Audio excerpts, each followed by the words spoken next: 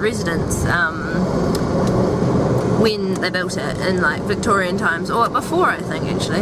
Um, but the ball is um, Victorian themed, so everyone uh, is going to be in Victorian dress. Um, and I feel like a princess, and it's going to be so fun. And we're just driving there at the moment with Tyler. Say hi. G'day. Um, he's not coming. He's just my he's my coachman. yeah, it's gonna be good. It's gonna be heaps of people there hopefully, and it's gonna be food.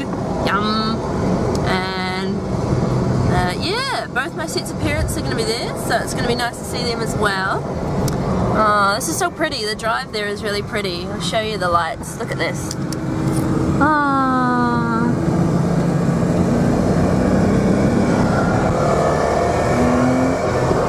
Check out this crazy place. Yeah, it's all very um, Huge bath. done in that uh, a consistent style, yeah, 1920s or Art Deco. I like it. What, what, what's do? This is the boudoir. this is my mom. Hi, mom. Hi. Miss Conrad. I, uh, on the side of it, no, no worries. It's rust. These cameras. Yeah. Yeah, yeah, it's really good. Well done. It's excellent, excellent. Very nice.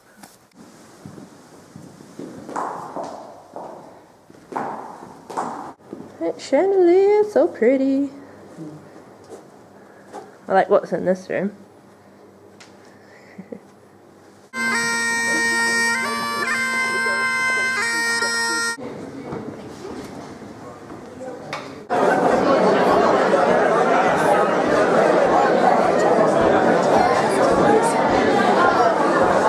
I think you know what I'm saying.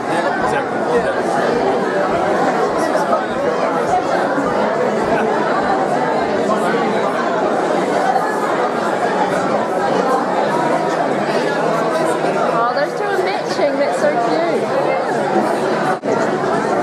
Oh no, you've got a camera. Hey. Oh dear. How are you? Ooh, good to see you. Oh, this is nice. Hey. I like that.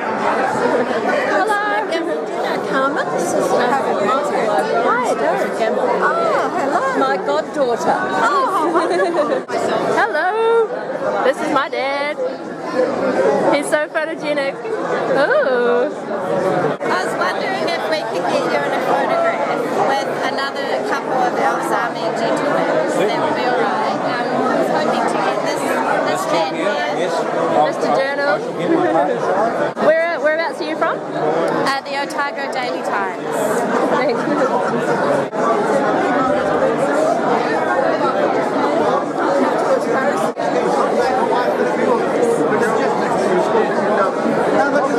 Fair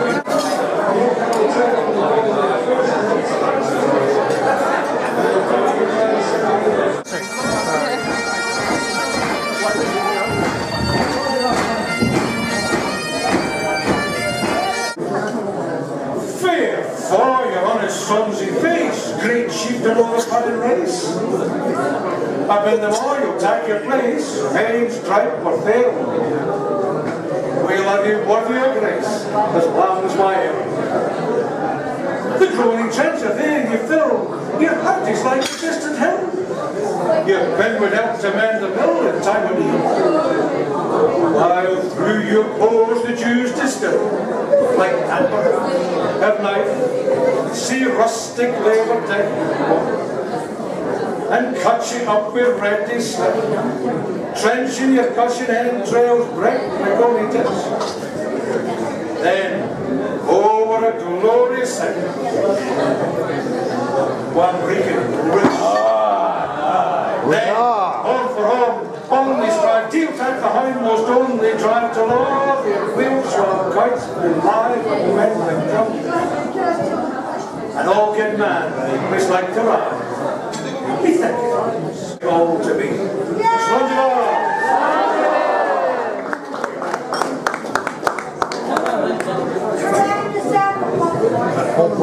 Ladies and gentlemen, please charge your glasses for the loyal toast. Ladies and gentlemen, I give you Her Majesty's Queen.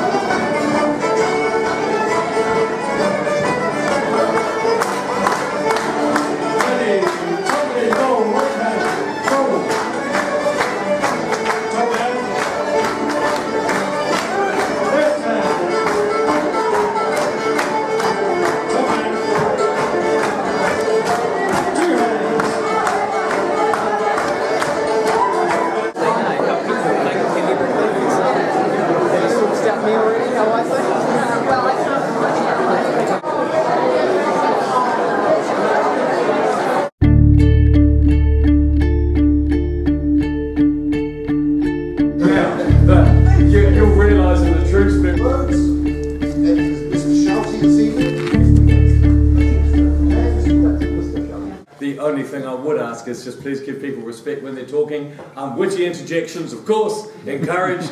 So everyone on the other side of the table has food, and we don't yet. But we will soon, hopefully.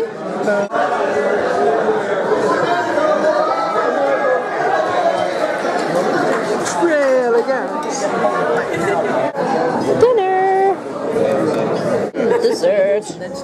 Conrad got two bowls of dessert because he was clever, and I just put mine on the side in the in the sauce. But yours isn't polluted, which is the best. This is probably for vegetarians actually who just wanted the, um, or not vegetarians, but you know, wimps. True, yes. carry out refinement water into wine. I'll not do it right, which.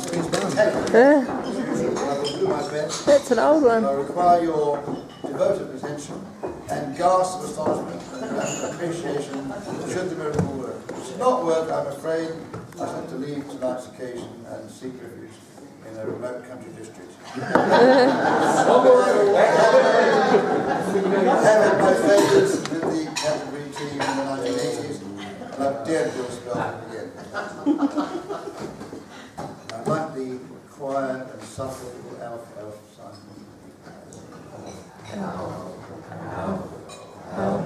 Oh, great spirit of Alf! Look down upon us in our wretched state. Take pity on our alcoholless situation. Turn this water into wine. Loving It's changing. Changing.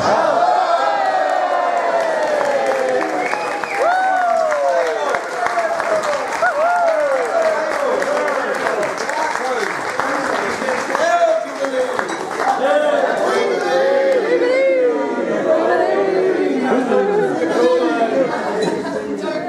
It's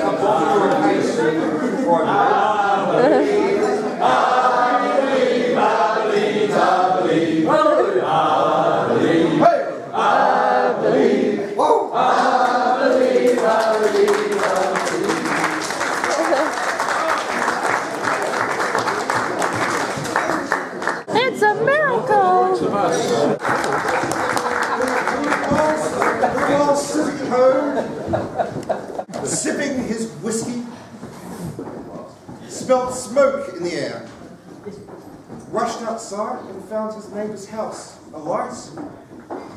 Rushed in and actually pulled his neighbour from the flames. Oh,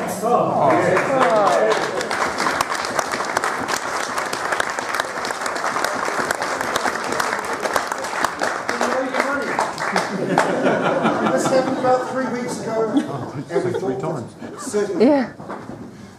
this act of heroism the awarding of a Britannia Medal. Second class. To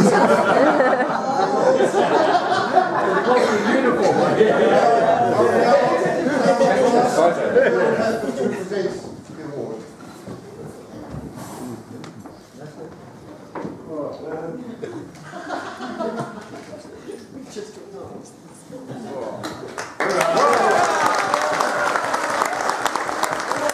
As an Alf, I'm quite used to bragging, speaking at great length about our acts of valour, our acts of heroism, our daring on the battlefield. All these things become second nature. Um, but when an act exists outside of Alfs, I find it a little hard to accept the accolades and the title of hero. I found it doesn't sit comfortably with me. Um, Well, don't then.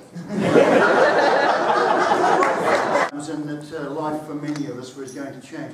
And I believe in many ways the, the wizard and the duke, um, the reason that they started the um, Alfs was to address issues very similar in that the Vietnam War was starting to cause a great deal of consternation within To make it short and not cryptic, might be the first. the No Hoper Regiment is the dual and elite regiment of the 8th Whitestone Grenadiers in Oamaru. It is the Highland Regiment, and we wear those big fluffy things on our heads, which don't normally, you see, are not normally adorned with Canterbury fezzes, by the way.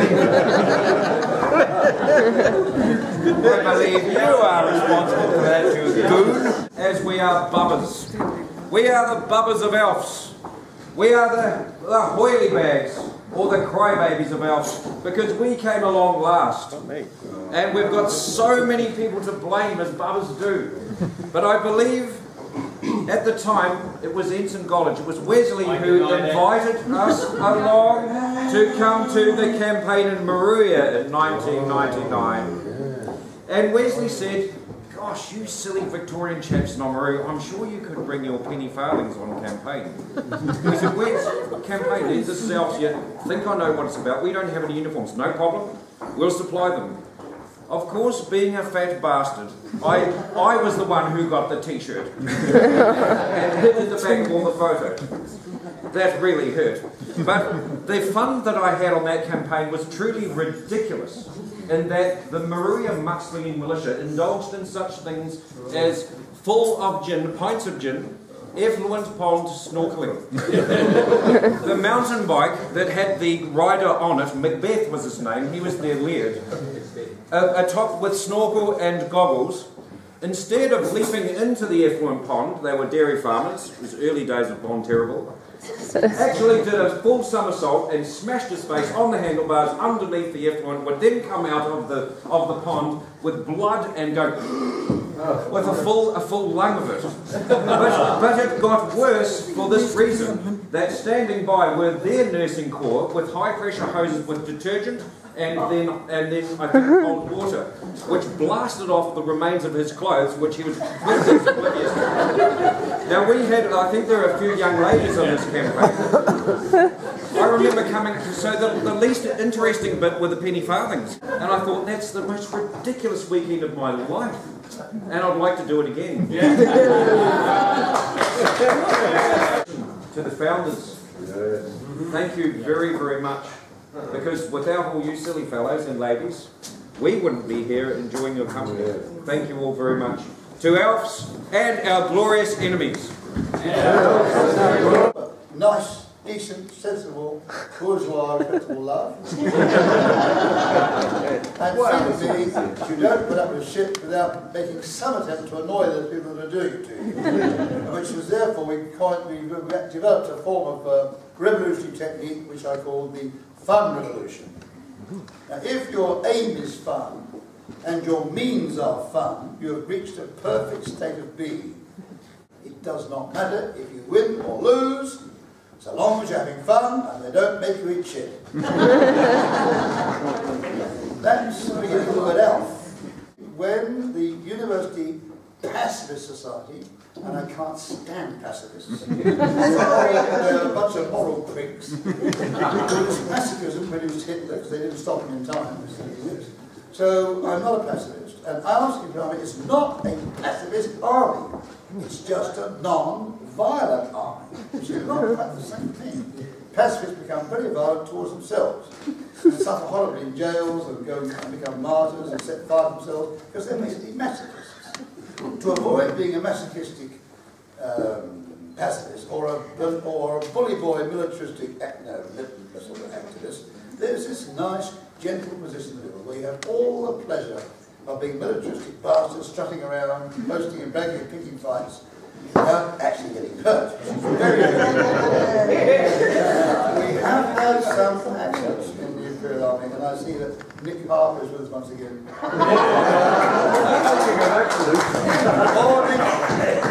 when we invaded the North Island, which is a wonderful occasion, about the same time as the Hebrides, was the, uh, sorry, the, the Auckland being invaded, uh, we had a big mess dinner uh, in Wellington, and alas, Nick was attempting a feat of some considerable skill to get from one beam of the raft to the other one, and alas, he slipped and fell and crashed to the ground to our horror.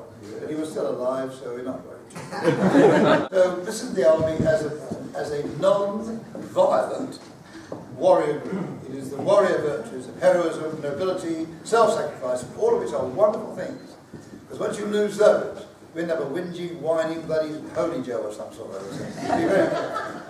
Leave that to the priest, that sort of. So I'd therefore like to remind you all that ALFS is a remarkably odd institution. I know of nothing else like it. It's not a reenactment group. It really exists now. We're doing this is making history. We're, we're not acting out history, we are history.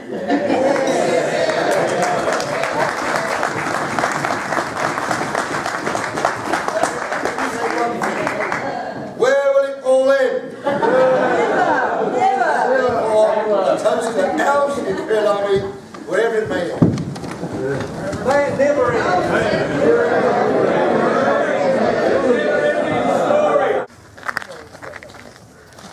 So we've just finished and we're about to go home. Um, it was really fun and there's lots of dancing and everything. Um, I'm so tired though, my dress is really tight, so I'm looking forward to going home. Uh, the castle looks really cool at night. The pretty lights. Ah, so pretty. Now I'm home again and I'm gonna take my shoes off and my makeup off and go to bed because I'm so tired. Uh, thanks for watching. Subscribe. See ya.